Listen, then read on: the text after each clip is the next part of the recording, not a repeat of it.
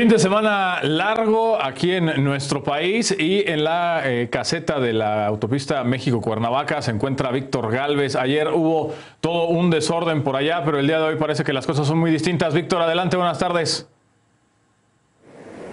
Javier, Claudia, muy buenas tardes. Pues afortunadamente sí, las condiciones han, se han modificado totalmente a lo que se estaba viviendo el día de ayer en la mañana con un poco de rezago a la circulación, pero ya para esta hora pues prácticamente la situación se encuentra bastante tranquila para aquellos automovilistas que van a dejar atrás la Ciudad de México y se van a internar en la autopista México-Cuernavaca, que el día de ayer pues presentó bastantes inconvenientes para salir de la Ciudad de México por una manifestación bloqueo que permanecía en un poblado cercano en los límites de Morelos y la Ciudad de México.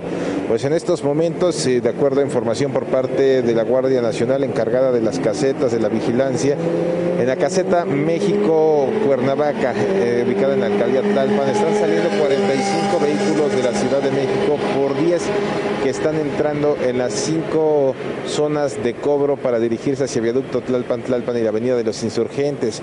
Otra de las casetas que es la Peñón Texcoco en el kilómetro 14 donde se encuentra la zona de cobro están entrando 10 vehículos y saliendo de la Ciudad de México 20. En el caso de la México Querétaro son 50 vehículos los que están dejando atrás la zona de Cuautitlán Izcalli y se están internando hacia la zona de Huehuetoca por 28 que ingresan hacia los diversos municipios del Estado de México.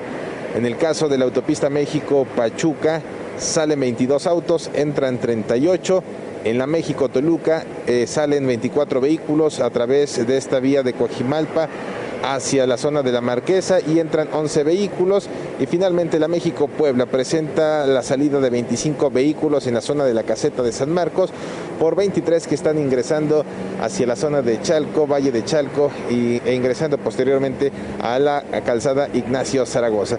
Así la situación de las casetas, el aforo que se presenta y principalmente aquí en la México Cuernavaca, donde los rezagos a la circulación por fortuna han disminuido y el desplazamiento pues con, de manera constante es el que reporta la Guardia Nacional encargados de la vigilancia y seguridad de todos los pacientes en este fin de semana largo. Javier, Claudia, la información que tenemos.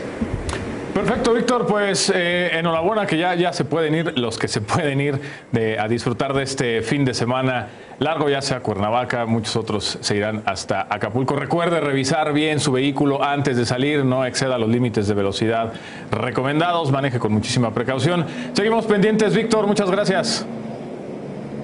Nosotros seguimos pendientes, excelente tarde.